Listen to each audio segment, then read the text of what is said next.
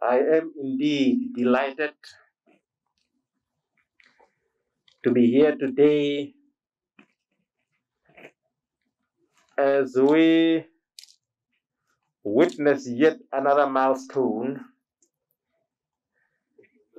in the efforts by the Ministry of Information and Communication Technology to make information accessible all parts of our vast country. As a gateway to government information, the Kavango West Regional Office is an essential institution that reinforce access to gather information by the citizens. We live in a society in which quality of life, as well as prospects of social change and economic development, increasingly depend on information dissemination. Our living standards, patterns of work and leisure, education system, and marketplace are all influenced by advances in information knowledge. These aspects of life have also changed recently with the emergence of COVID-19 pandemic. Not only Namibia, but the world at large.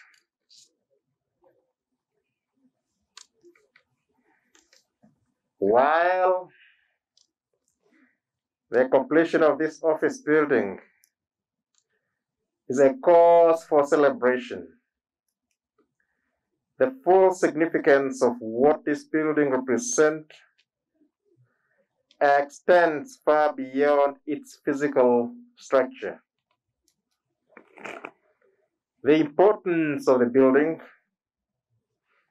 lies in service delivery coming from it.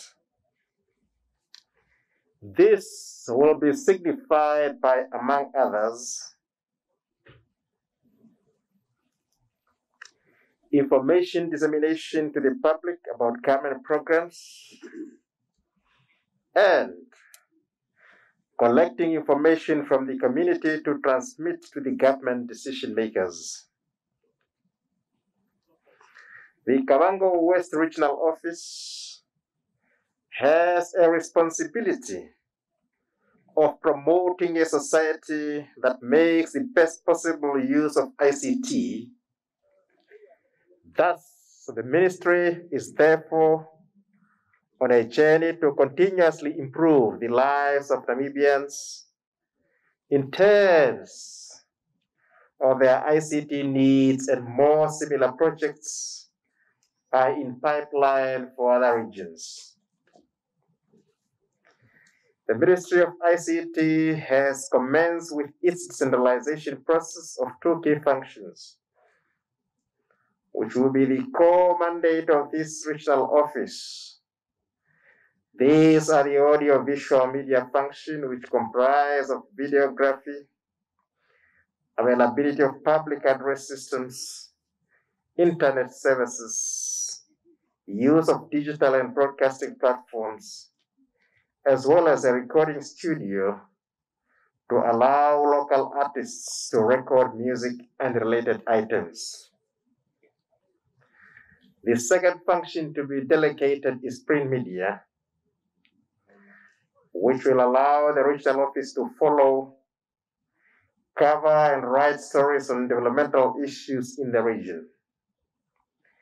Both these functions key that they feed the national broadcaster NBC with news items where they are unable to reach, as well as allowing for the Ministry of Information and Communication Technology Information Officers to write articles published in daily newspapers. I encourage the public and especially the youth to optimally utilize services provided by this office in order to bridge the prevailing digital divide and enhance access to information.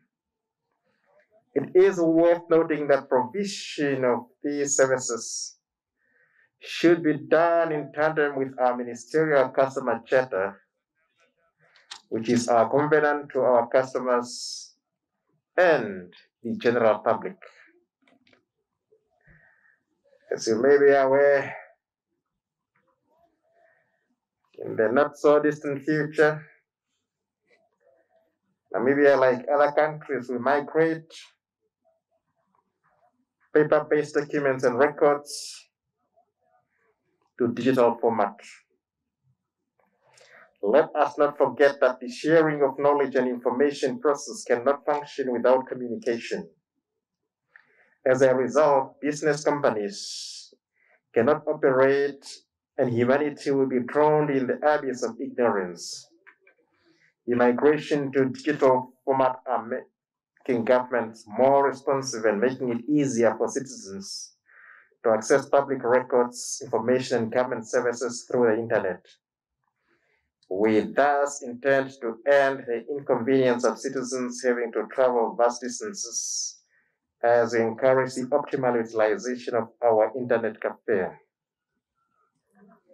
In our quest to reach those on the peripheries, the Ministry of ICT has and continues to install internet to the 26 rural ICT centers established in the most remote parts of the 14 regions to lay a foundation in rural areas for e-governance.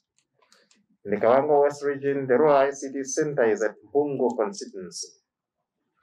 I'm happy with the commitment displayed so far by the community members to ensure that this center does not become a white elephant. This is one of the centers that has been well managed by its volunteers, so much that they are able to earn a small allowance from the income generated by the center. This is indeed plausible. The Mpungu Center that I just alluded to is certainly not enough. And I appeal to the business sector in the Kavango West region to augment government's effort by supporting the establishment and sustenance of rural ICT centers in other remote areas. This will not only ensure equitable access to ICTs by all citizens, including disadvantaged groups and rural communities, but improve their livelihood. Director of Ceremonies. The Ministry of ICT constructed this regional office to the tune of 30 million 742,094 Namibia dollars. This is evidence that indeed the government is doing its best to address our needs as a nation, and it is up to every one of us to make it work. We all have a stake in the government because the government is us greater things can be achieved when we all pull in the same direction. All we need is an attitude adjustment. As the saying goes that your attitude is your altitude. I want to congratulate all those who have been involved in helping to bring the construction of this building to a successful completion. I hope you'll all agree that the efforts have been worthwhile. Furthermore, I'd like to commend my predecessor, Comrade Stanley Mtumba who pioneered and guided plans for the construction of MICT regional offices, as well as the entire management and staff of the ministry who kept this undertaking moving forward. My gratitude is further extended to the Kavango West Regional Council uh, for availing land on which we are standing today to inaugurate the MICT Kavango West Regional Office. In conclusion, I'd like to remind the staff of this regional office that we have a huge task to provide first-class IT services. It is a calling that requires commitment and selflessness, especially now that ICT services are required more than before due to the outbreak of COVID-19 pandemic. This, I have now come to do what we all have been waiting for. That I am officially declaring that the Kavango Regional Office, Kavango West Regional Office, is hereby officially opened and we will do the formalities later at the building. Thank you very much.